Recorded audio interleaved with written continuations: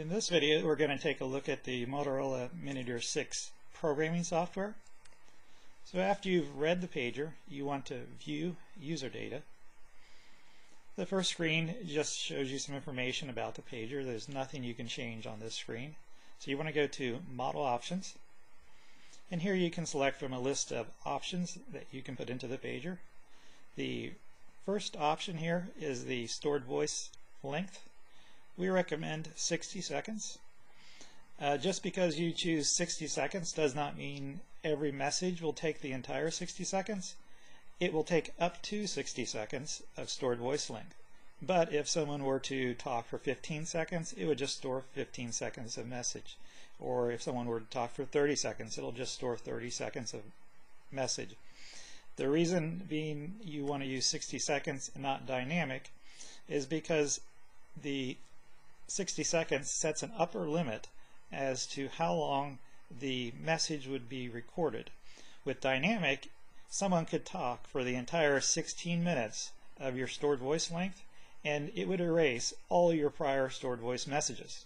So to prevent, to prevent that from happening, you can set it to a 60 second message or 120 second. Um, 30 seconds is probably a little too short um, but just because you set it to 60 seconds doesn't mean you're only going to get 16 messages of 60 seconds apiece. You could get 30 messages or you could get 40 messages. Just depends on how many minutes or seconds the uh, broadcaster talks. The next option is the voice announcement uh, if you want to have a male sounding voice or if you want to have a female sounding voice. The function switch announcements, um, this is when you change the switch position from say A to B to C. The pager will um, talk to you and tell you um, what that position is. It may say selective call, tone alert, channel 1 for example. Um, this you can turn off. You can turn it on. When it's on, um, the announcement happens when you change the knob from one knob position to the other. You can have it on plus when you press the reset button. Uh, when you press the reset button, it will announce what that uh, knob position is.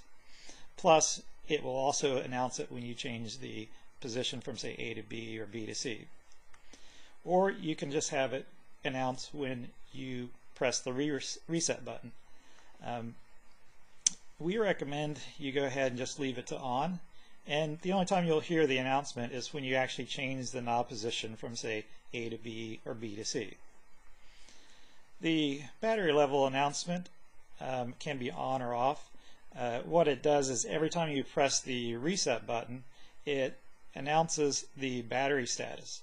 So it'll say full battery or critical battery or um, something in between uh, we recommend you go ahead and turn that off. Uh, most likely you're never going to have a issue with the battery if you charge it every day.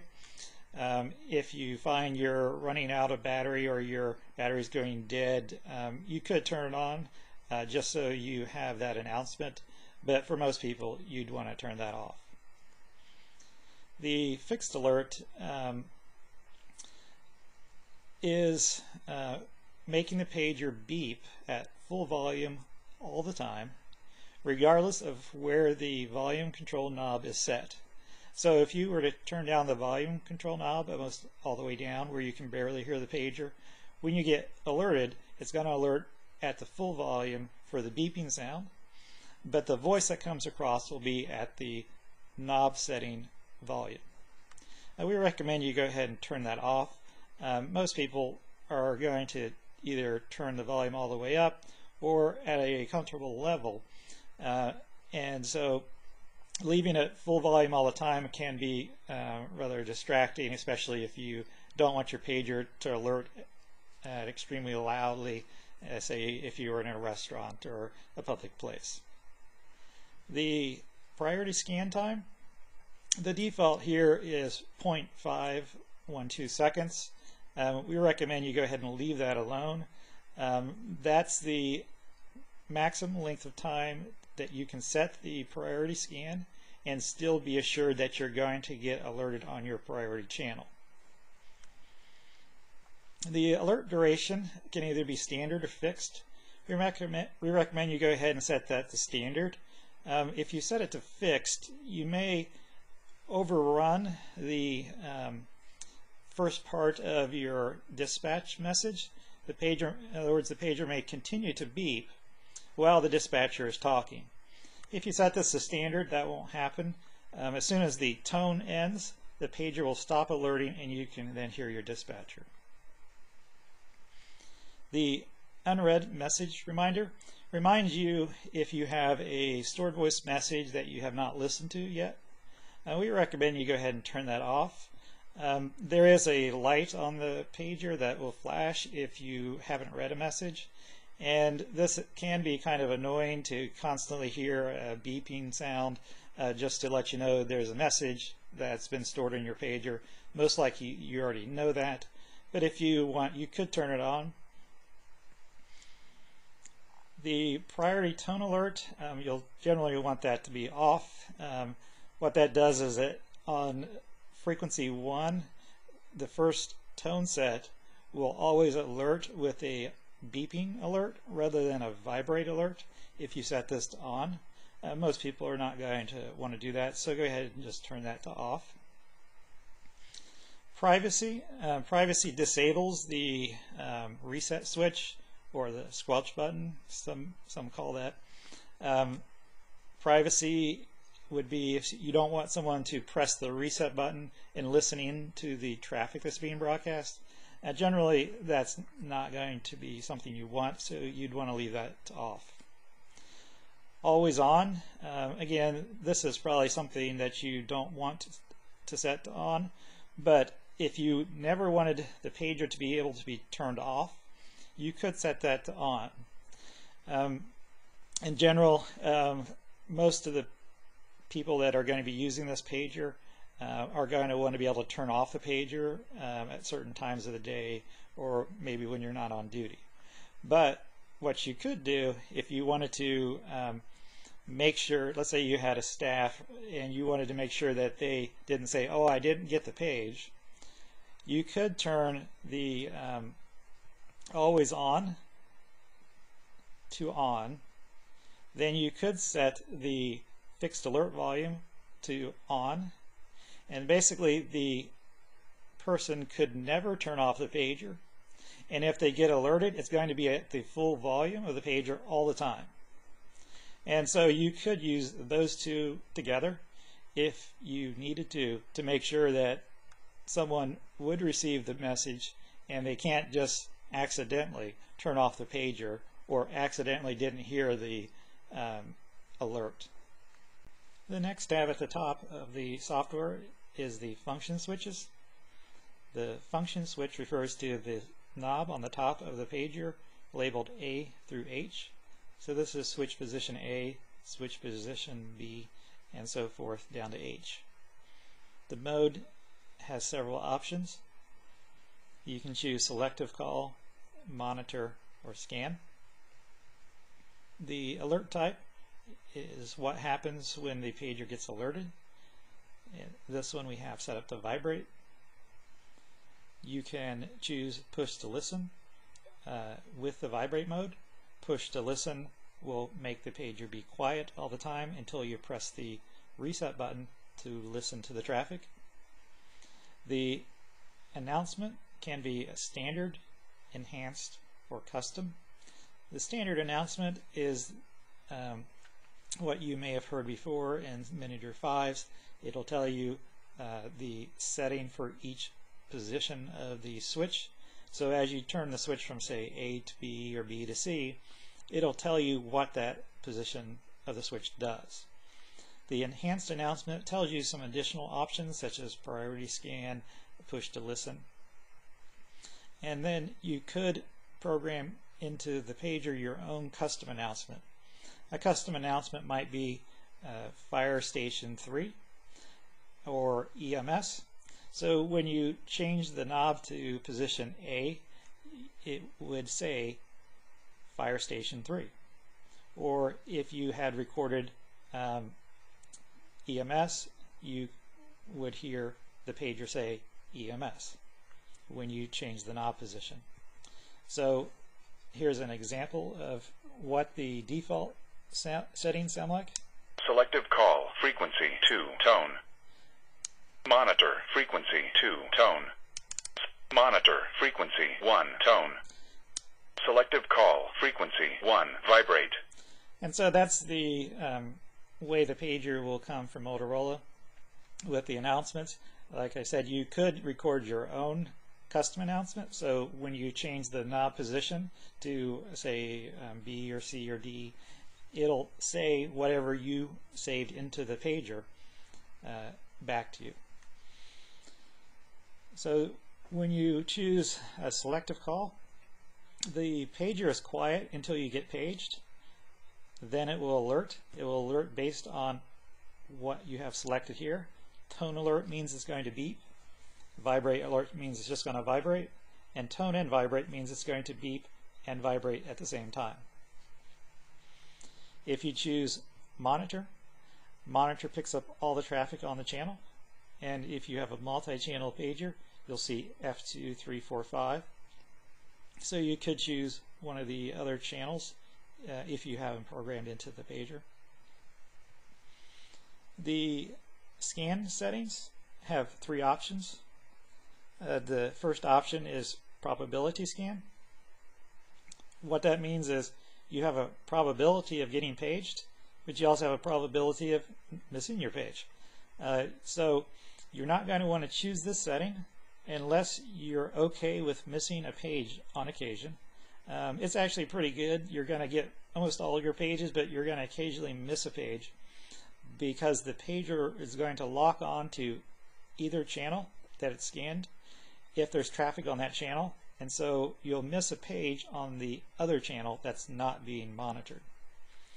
This probability scan will um, scan the pager. You'll hear all the traffic all the time as it's scanning. If it gets paged or alerted, you will also hear the beep or the vibrate depending on what setting you have over here. This box shown here, you can choose the channels that you want to scan. Uh, this knob position F is set up to scan between channel 1 and channel 2. There is no priority. So if it happens to stop on channel 2 and someone's talking on channel 2, it will not hear anything on channel 1 and you will miss a page if it's stopped on channel 2. To prevent this, what you can do is choose priority scan from the list. Priority scan um, has one of the channels set to priority. And what happens with priority scans, if you're scanning between the two channels, and it stops on say channel 4 and now you're listening to traffic on channel 4 it will check back to channel 1 every half second. This causes a momentary cutout of the audio as it checks back but you will never miss a alert on channel 1 that's the nature of priority uh, when the pager does get alerted, you can choose how it alerts, tone and vibrate, vibrate, or just tone you'll probably want to have tone and vibrate because the priority scan setting, you're going to hear all the traffic all the time, even if you're not getting alerted. The silent scan does just like it sounds. It's silent all the time, and it'll scan between the channels. If there's uh, if there's a broadcast on one of the channels, you will not hear it unless you get an alert. So Silent scan is going to be quiet all the time until you get paged. When you get paged, this is what the pager will do.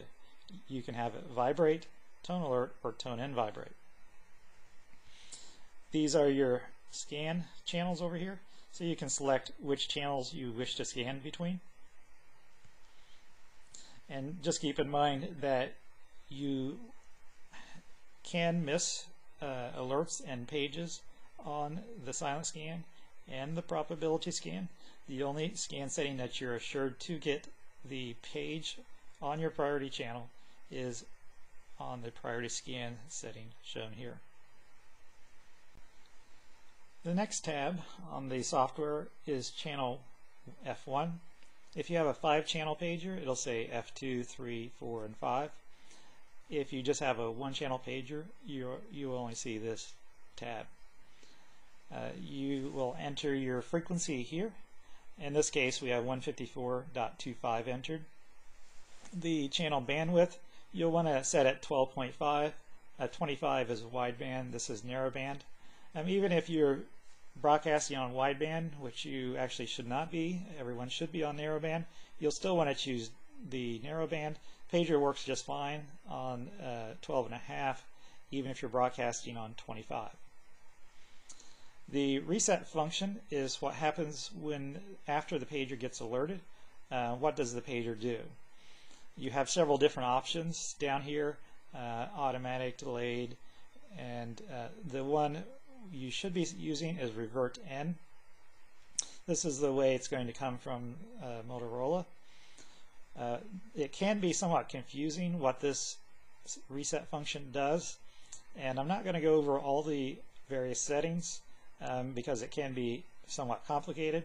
We're just going to stick with the revert N. And what happens um, on the stored voice function of the pager is the stored voice will record the message uh, until you have a drop in the carrier. Oftentimes um, the tones are sent and then there's a momentary drop.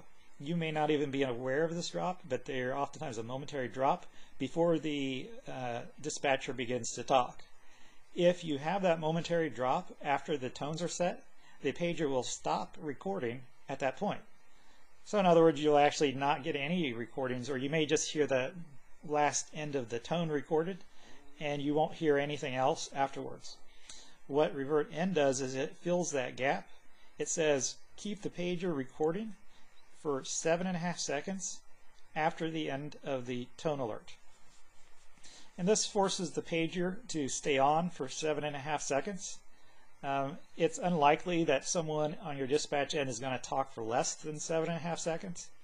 It's also unlikely that you're going to have several drops or gaps in the uh, transmission frequency um, during that seven and a half seconds. So that seven and a half seconds um, is sort of a um, window that keeps the pager recording no matter what happens on your carrier. So uh, we recommend you go ahead and leave that to seven and a half. Um, that will work just fine for most departments. Um, if you're having trouble um, and you're getting the stored voice uh, announcement cut off or dropped, you could increase that. Um, if you have a lot of, say, um, alerts, you might have, say, five different stations alerted sequentially.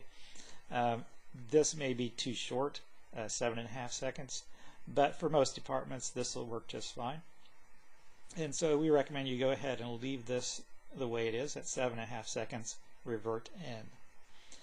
The tone system here uh, can be set to say Motorola, GE, uh, Plectron, and whatnot. We recommend you go ahead and leave that at user. What this does is it makes the uh, alerting more flexible. If you choose Motorola, the Motorola tone set might be one second, three seconds. Well, what if you get a little bit of interference in your tone and the pager doesn't quite hear the whole one second and the whole three seconds of the tone? Well, with the Motorola, it may not alert the pager because it's looking for one second, three seconds. With user, it's going to be flexible if you get a little bit of static on the first tone and you only hear a half a second of the first tone, and you get some noise or some static on the second tone, and you only hear, say, one second of the second tone, the pager will still alert when you're in user mode. There's no, there is no advantage of choosing one of the other options, uh, so just go ahead and leave that at user. The coding options have um, uh, different settings here. These are carried over from a long time ago. Uh, the Minitor 2 used to have these options R468 and whatnot. Um, it sets up the A-B tone, AC tone, long B, long C. You really don't need that. You can go ahead and just leave that to none. And what that'll do is give you all these settings and options. Um, here you would enter your tone pairs. So for this example, we have tone 1 is 300, tone 2 is 500. So you're going to have A, B, and then the pager will alert. Uh, here it would be another tone set. Um, I just call them ABs just to keep, just to make it easy, but it's actually labeled tone 1, tone 2. So you'd have a tone 1, tone 2, tone 1, tone 2, and each of these are a different set of alerts. Down at the bottom you have your long tones. This is going to be a single long tone. Um, you will typically have a long tone of about 5 seconds. The alert over here is how the pager is going to beep when you get alerted. Uh, standard is your typical beep, beep, beep. Um, music, uh, you can uh, have it beep in different sequences. Uh, music really isn't music, it's just a different series of beeps. If you wanted to hear what music one sounded like, you could press this button. The pager would then play whatever uh, alert type you have set here. You can also choose a custom alert. You have five different custom alerts. And what this is, is you could record any type of audio and then load it into the pager. And when this set of tones went off, in this case it's 800, 1200, the alert will be your custom alert. So you could have a barking dog, you could have some sci-fi music going on, you could have any number of things here. Um, you could record your own voice, um, and whenever this tone setup went off, it would alert with that setting or that noise that you had recorded. Uh, next to these um, alert settings is the vibrate setting. Uh, this is a, is a little bit different than the Minitor 5. You have standard and pulsed. Uh, standard means it just vibrates, you know, vibrates the whole length of time. Pulse means it's going to vibe, vibe, vibe, pulsate basically when you get alerted. Uh, if on the function switches um, you had it set to uh, say tone alert only, the vibrate would not vibrate even though you have it set here. So you do have to have on the function switch uh, say a vibrate or a tone and vibrate for the vibrate to work over here. This at the bottom is the squelch level. Um, it's best to go ahead and leave that alone at the factory setting. Uh, you could tighten or loosen this squelch setting. Um, for most people, that's really not going to be um, an issue. But if you are around um, noisy equipment, um, oftentimes a computer or other electronic devices, it may cause the pager to unsquelch on occasion. And you could use this to tighten up the squelch level a little bit. Um, it won't stop it completely. It just requires a little bit higher level of reception uh, before the pager will unsquelch. So after you have entered all your tone information and your frequency uh, on channel 1, you could go ahead to, and enter additional information on channel 2, uh, 3, 4, and 5 if you have a uh, 5-channel pager. Uh, if you notice the additional channels look the same as channel 1, so I'm not going to go over the settings again.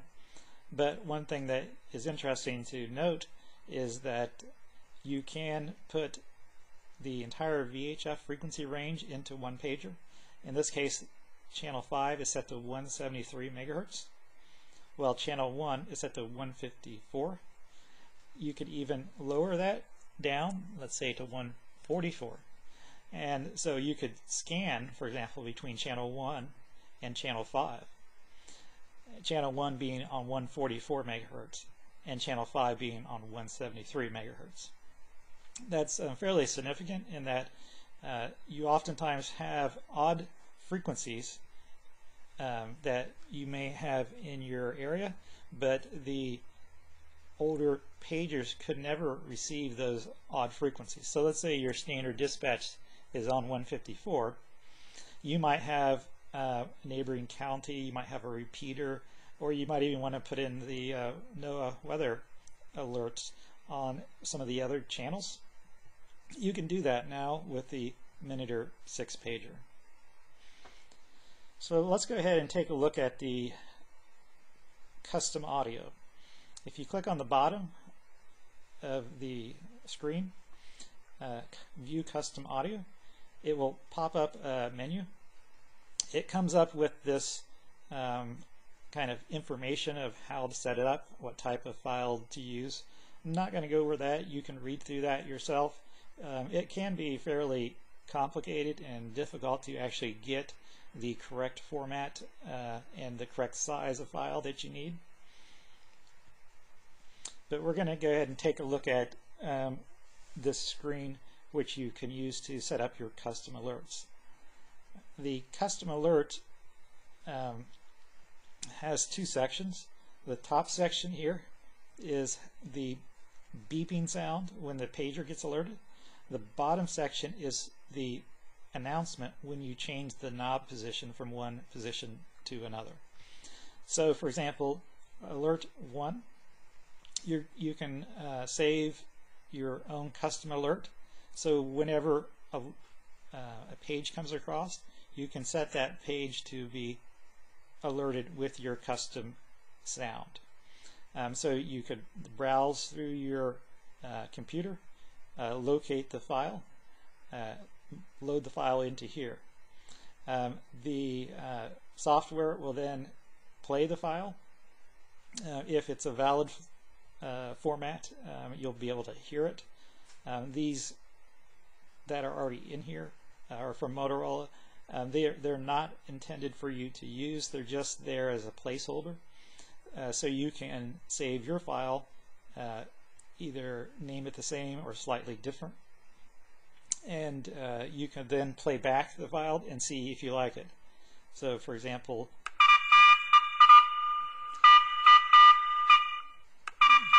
that's just, again, what Motorola saved in the computer.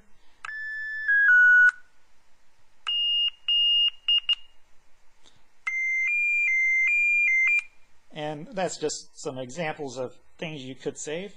And you can save any audio file. You can save your own voice. You can save, say, a movie clip or a um, song. Um, when you're satisfied with how you want it to sound, you can go ahead and click that off. It will then write the pager.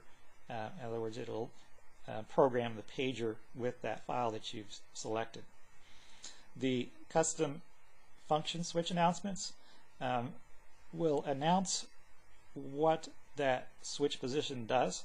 So when you switch from say A to B, it will then announce or it will say whatever you had recorded here in function switch sw function switch position B. And so this comes in handy when you have multiple departments or you have a lot of different channels you can record on each switch position what that channel does. Because you not you might not remember what switch position E does, but you could record um, EMS county 32 or whatever this um, channel is going to be for your pager. And when you get alerted, it's going to say, well, not when you get alerted, but when you change the knob position, it's going to say what that knob position does. So once you're satisfied with your settings here, you can go ahead and save it. And then this is where you can um, put your custom alerts from the screen that you were just at. So this alert 1 through 5 is the top section, your alerts 1 through 5.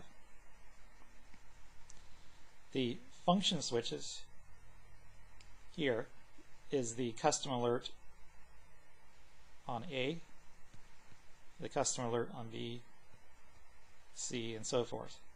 And that's the bottom section here. Uh, so once you've set up your pager, um, it'd be a good idea to um, save this information to a file on your computer. Um, that way you have all the settings for all the different channels. Um, what this will allow you to do is it will allow you to clone additional pagers with the same information. Um, so if you had, say, 10 pagers for your department and you wanted to program all 10 the same, uh, you could go ahead and save this to a file and then you could load that file back up later and program your other pagers. The reason you want to save it and not just clone from one pager to the other is because this custom audio file is not clonable. In other words, you cannot read one pager and pull these files out of the pager and then program another pager. If you try to do that, these would all be erased. You could clone from one pager to the other. In other words, you could read one pager and then put in another pager and program that pager. These settings would stay. So all your knob, knob positions and your channels, those would stay. But your custom audio will not. However, if you were to save this on a file on your computer, these custom audio uh, files are transferable from one pager to the other. So if you had um, this saved on your computer, you could then program a pager today, program another pager tomorrow, and each one of those would have the same custom alert or the custom knob setting.